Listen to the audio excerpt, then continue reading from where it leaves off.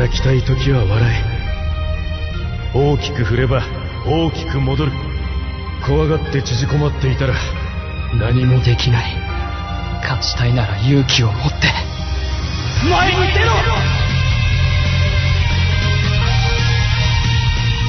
皆さん遊戯王アーク5が楽しさ驚きが詰まったエンターテインメント作品だということ分かっていただけましたか？